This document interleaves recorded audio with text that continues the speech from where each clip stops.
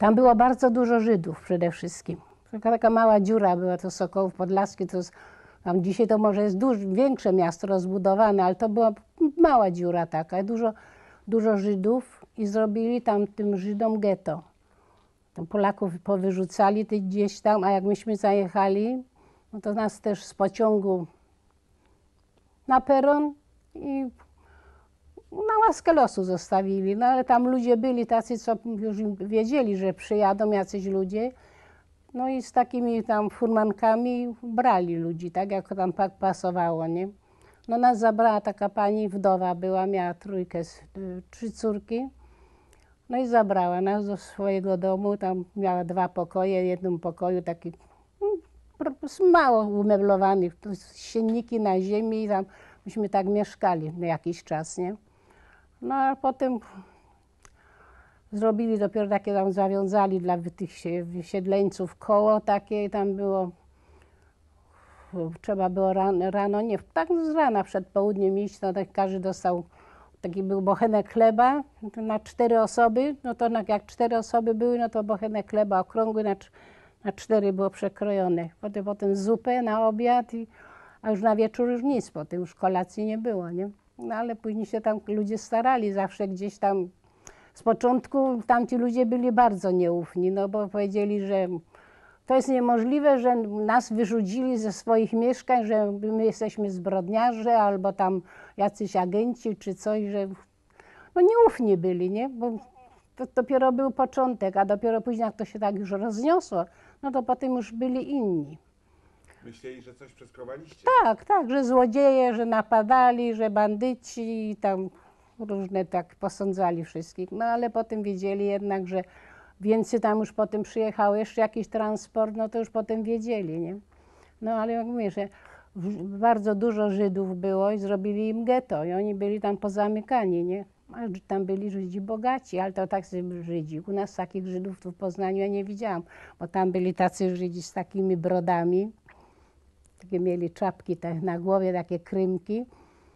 No a Niemcy byli bardzo wredni. Oni potrafili na ulicy, jak szedł taki Żyd, to wziął zapałki czy zapalacz i podpalał mu tą brodę, nie? A Żydzi uciekali, krzyczeli, nie? Że pali się, nie? A to niedaleko była przecież Treblinka, potem do Treblinki tam wywozili tych Żydów. To potem zima była, bo to był grudzień. 39 rok nas wysiedlili w grudniu, jeden, chyba 11, nie pamiętam dokładnie, gdzieś tam napisane. To była straszna zima. A jak co potem, jak obserwowała Pani, co się działo właśnie z Żydami? No z Żydów. Oni później, wie Pan, tych Żydów mas, zmasowali ich tam, pozamykali, zrobili im takie getto. No, kto mógł, kto się bronił, gdzieś tam uciekał. No a resztę potem dość był taki dzień, że zabierali wszystkich ich, wypędzili z tych domów, gdzie byli. No i pędzili ich tam kawa, bo to tam było tak miasto małe, tak, a stacja kolejowa była po prostu tak jakby na uboczu troszeczkę. No tam nie pamiętam ile tam kilometrów musieli ich, pędzili ich po drodze, nie? No ale to już było, już zaraz ten rok następny. Także myśmy pracowali, tam szpital zrobili, bo to było seminarium, a potem zrobili, wzięli to na szpital. I potem ich tam pędzili. No to tak jak szli, myśmy szli rano do pracy, po drugiej stronie to Niemcy ganiali nas, że mamy nie wolno się zatrzymywać, patrzeć, tylko iść, iść, nie, do pracy. No ale zawsze się coś niecoś zobaczyło. Żydzi szli całą gromadą i nie pozwolili tam nawet, żeby za chwileczkę czy odpocząć, czy taki jeden, pamiętam to do dzisiaj taki widok. Młoda Żydówka szła, miała dwoje dzieci, jedno dziecko trzymała na ręce, małe tam taki niemowlaczek, drugie trzymała za rękę. I w pewnym momencie przystanęła, no nie wiadomo, czy chciała poprawić, czy to dziecko na drugą rękę wziąć, czy co. Taki podszedł Niemiec, wziął i to dziecko, które trzymała na ręce, a na poboczu rosły drzewa, nie? Złapał za nóżki, trach o to drzewo. To, to takie mały niemowlaczek, no to, to główka pękła, się rozprysło i tylko na ślady na, na, na ziemi, nie? Ta zaczęła krzyczeć to ją pchnął jeszcze, to drugie trzymała za rączkę. Uszła parę kroków, a on za nią i zastrzelił ją. Nie? Zastrzelił i kopnął i poszli dalej, nie? I zgnali wszystkich tam, dali do, do, do, na, tych, na ten dworzec i pociąg taki o Bydlęcy i tam do Treblinki ich powywozili.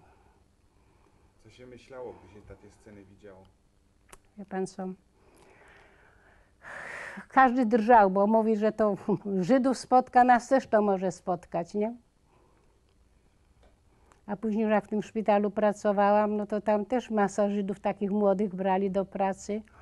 No to oni też się- chowali. No byli ludzie tacy, ci miejscowi, no ich tam przechowywali, nie?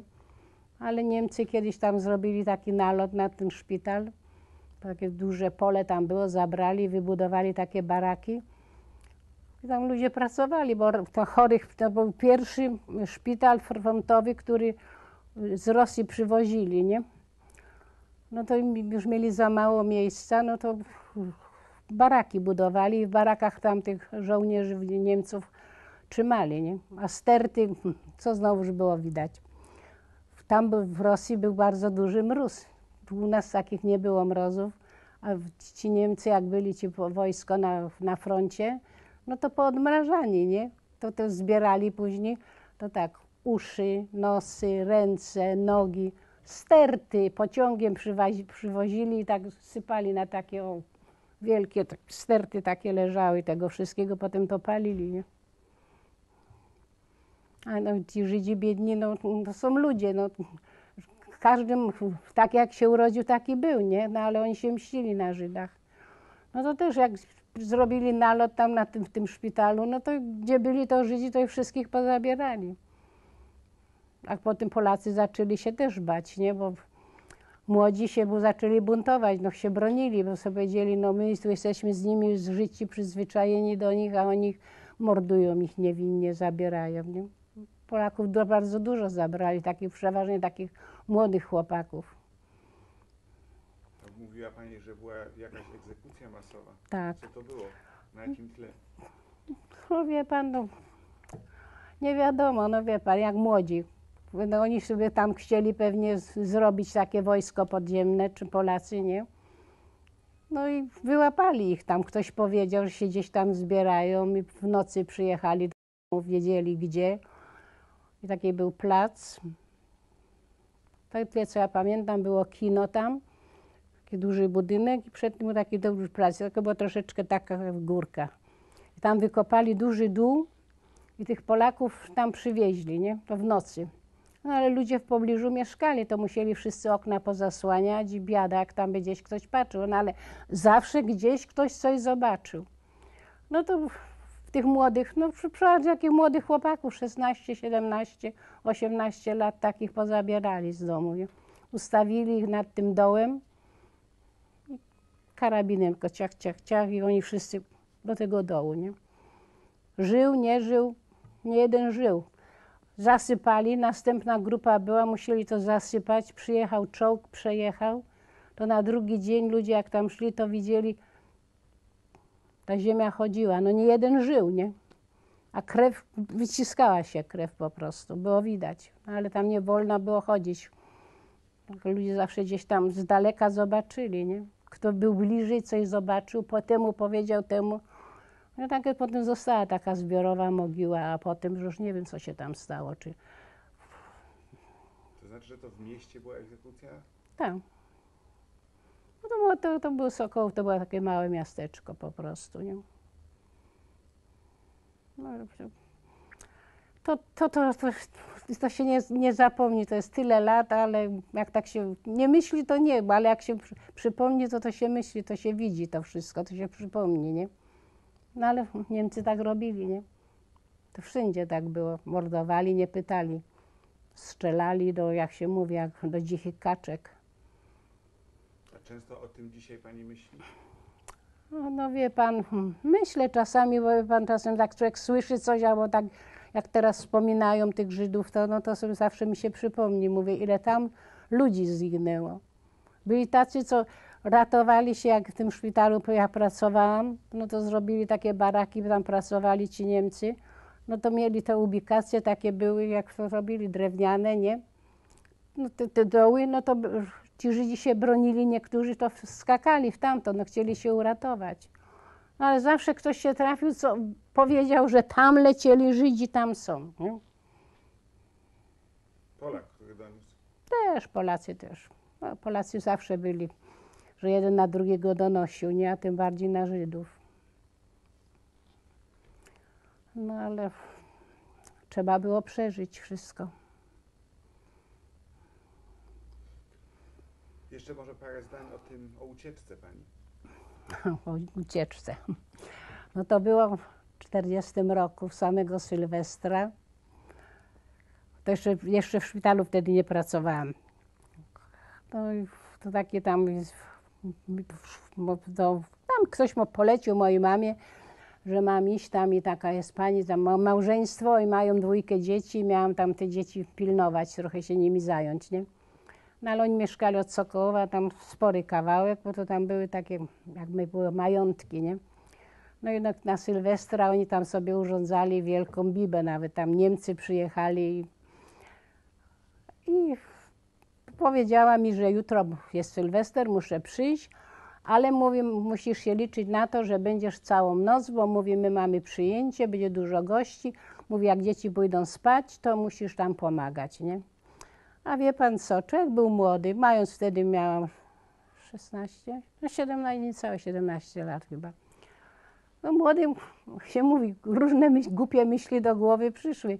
Powiedziałam, nie, ja tam nie pójdę, żebym ja Niemców obsługiwała, jeszcze mówię, krzywdę mi tam zrobią, nie? I nie poszłam po prostu, nie? No nie wiem, co, jak się mówi, ja to do dzisiaj nie umiem tego powiedzieć, ja to się tłumaczyłam później rodzicom, Mówi, czemu ty to zrobiłaś i jak, po, dlaczego? Ja mówię, no ja nie wiem, no strzeliło mi jakaś myśl, jak się mówi, w ten łeb, no i nie poszłam. I sobie poszłam, szłam, szłam, szłam i szłam. Cały dzień do wieczora uszłam kawał spory drogi, wiało, zimno, śnieg. Potem mówię, nie, muszę się wrócić do domu, przecież gdzie ja pójdę, nie? Wieczór przyjdzie i co? No ale nie, coś mi stale mówiło, że mam iść. No tam gdzieś poszłam, jakieś widziałam, że jakieś domki są, chatki. Poszłam, prosiłam, czy mnie mogą przenocować. A skąd ja się... pani lepiej opowie, jak przez granicę pani się przeszmuglowała. No to przeszmuglowałam się. No i to dwa tygodnie, dwa tygodnie szłam. To gdzie Warszawa, a jeszcze za Warszawą Sokołów jest jeszcze kawał, nie? No i potem tak codziennie sobie wyszłam, tam, tam poszłam, ale zawsze jak się mówi z duszą na ramieniu, bo nigdy nie wiedziałam na kogo natrafię. To zawsze jakieś kłamstwo trzeba było wymyśleć. No to powiedziałam, że jestem z Poznania, jestem, wysiedlili nas, rodzice rozdzielili mnie od rodziców, nie wiem gdzie są rodzice. No i się błąkam i pójdę z powrotem do Poznania. W, Poznaniu mam rodzinę, krewnych dalszych, to no to niektórzy uwierzyli, nie? No to jakoś tam gdzieś przenocowali, dali mi na drogę. No ale mówi dziewczyno, jak przecież po tym, jak ty do granicy, jak ty chcesz przejść przez granicę? Ja mówię, no nie wiem, może mi się uda. No i takie, do takiego domu poszłam pod wieczór. No, no już pod wieczór jeszcze szaro było. No i poszłam i prosiłam o nocleg. No i mówi, no dobrze, mówi, ale my nie mamy miejsca. Mówi, jedynie, mówi, trochę ci tu pościelimy na sięcie. Ja mówię, obojętnie, no, ja całą noc mogę na krzesełku siedzieć, czy na jakiejś ławce, bylebym się tutaj trochę ugrzała i prze, przenocowała, rano sobie pójdę. No i ci gospodarze mówią, no to dobrze, mówi, rano to mówi, jakoś my cię tam przez granicę przetransportujemy, może się uda, ale mówi, nie musisz mówić, nic nie, najlepiej nic nie mówić. Nie? No więc rano oni wcześniej do pracy, no oni wszyscy tam przepustki mieli i ich znali, nie? Bo jak chodzą codziennie do pracy tam i z powrotem, no to znali. No więc ja też, jak się mówi, z duszą na ramieniu idę pomiędzy nim w tym tłoku i taki zatrzymał mnie. To taki był Niemiec, ale po polsku umiał.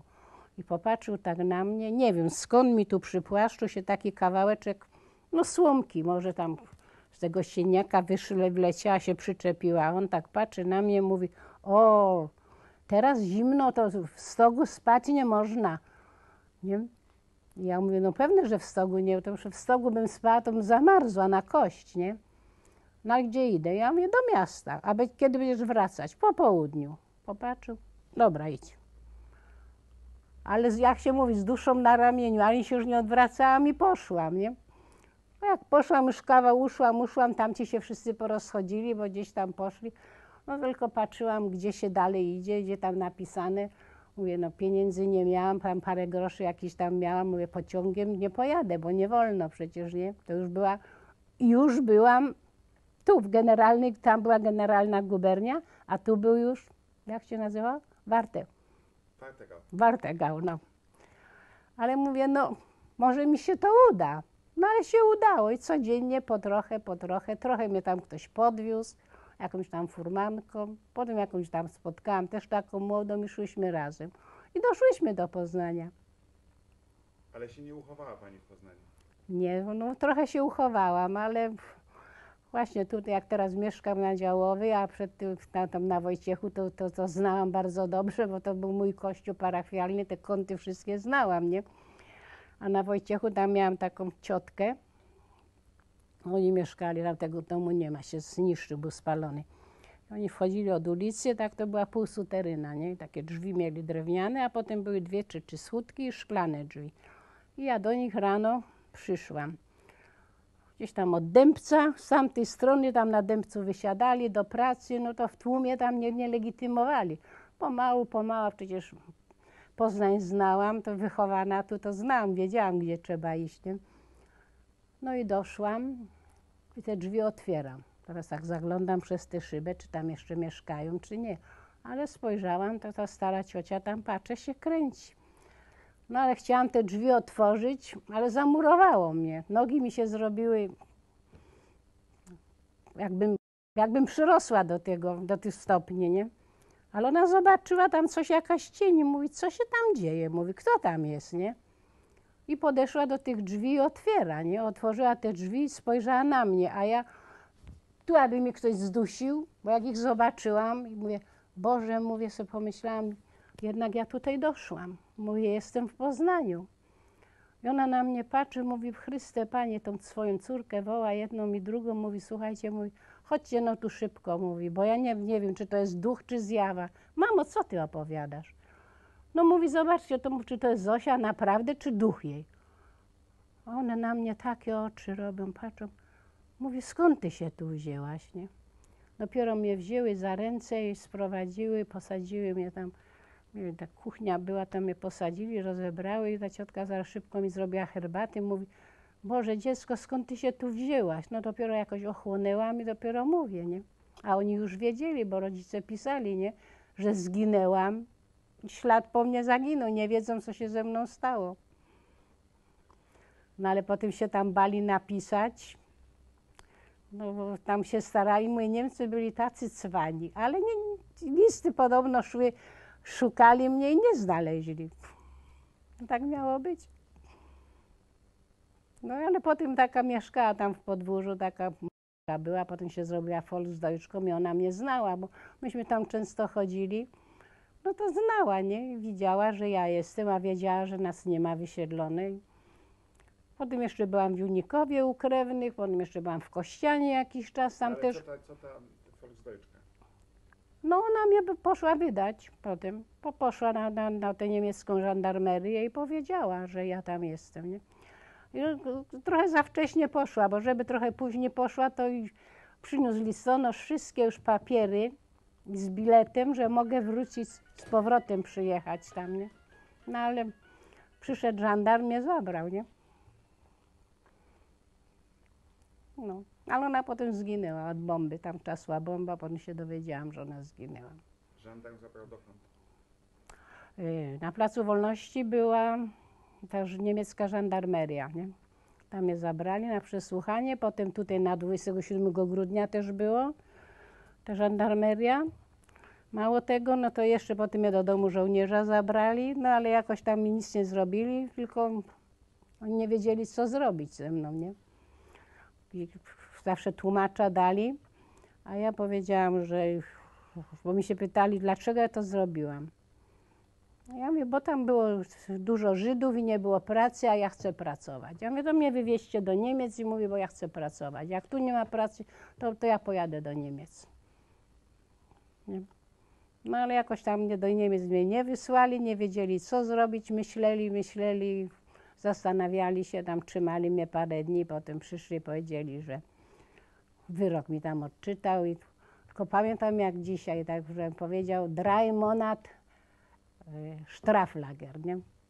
I nie mogłam, mówię, to trzy miesiące, mówię, to drei Monat, trzy miesiące, a Straflager, mówię, Boże, jakiś, do jakiegoś lagru mnie wsadzą, nie? I pytam tego, co mi tłumaczył, on mówi, czy rozumiem. Ja mówię, nie, ale mówię, co to jest? A on mówi, dostaniesz trzy miesiące obozu karnego za to, że uciekłaś. Zawieźli mnie później do, do Wronek. W Wronkach siedziałam. Zamiast trzy, to byłam cztery miesiące. Bo tam potem już, tam już weszli Niemcy, nie? Też tam już, już dawno było oswobodzone, a tu dopiero kiedy było, nie? No, ale wszystko się upiekło szczęśliwie. Czy jest jeszcze coś, co, co nie spytałem, a co Pani by się przy, uważała, że jest fajnym, ciekawym, ważnym wspomnieniem? No bo ja wiem, wie pan, trudno mi coś powiedzieć. Bo tak już przegadaliśmy to, co wtedy, No, także to jest, e, Tak. mniej więcej wiemy. no wiem, że było wojsko polskie się tam robiło, nie? Było w tym, to do Lublina jeździli, później tam mieli przysięgę, w, w tym, w ziemiankach siedzieli tam. I potem ci młodzi chłopacy wszyscy się tam pouciekali do tego, do wojska, nie? A jak w 45 roku wróciliście, to jak wyglądało życie? Jak odbudowywaliście swoje życie? Hmm, To tak. samo mieszkanie mieliście? Nie, śladu nie było. Bomba czasła i wszystko było rozwalone. A mieszkałam, jak jest teraz, wie pan, teraz jest Libelta, nie? Jest urząd, a to przedtem jeszcze. Tam są takie trzy bloki, tam myśmy mieszkali. Tam, był, tam były zakłady spirytusowe Akwawit. Ma teraz ma w Lesznie, a tam przed wojną było tam. Tam była, część mieli tu, a część mieli na, Ale lepsze czy gorsze warunki były? Jakie były warunki po powrocie? No, gorsze były, no bo nie mieliśmy gdzie mieszkać, nie? No to tak błąkaliśmy się, dlatego szukało się po prostu najbliższą rodzinę krewnych, nie? Bo to wszędzie było na murach popisane, kartki wisiały, mieszkamy tam, jesteśmy tu. I podpisywali się ludzie. To, to tak jeden drugiego szukał, nie? No ojciec mój się starał, wszędzie chodził, szukał, no i doszukał się krewnych, właśnie tych, co mieszkali tam na Wojciechu, tam się ta chałupa cała spaliła, zawaliła. Oni mieszkali na Wildzie. No tak, to potem tak, trochę tu mieszkaliśmy, trochę tu. No i potem tam się postarał, dostaliśmy mieszkanie, ale to takie było wspólne mieszkanie, gdzie mieszkały duże mieszkanie, cztery rodziny, nie? No tak pakowali. No ale potem się zaczęło pomału życie rozwijać. Tato mój zaczął pracować, był tam inwalidą, nie, nie wojennym, tylko miał wypadkową, jak tam pracował jeszcze, bo pracował wpierw w tym w Lesznie, w Akwawicie, a później go przerzucili tu do Poznania. Miał wypadek w pracy, miał tu sobie tę rękę oparzył, w walce wkręciła mu się, nie miał tu tych, tych czterech palców, tylko takie miał kuleczki.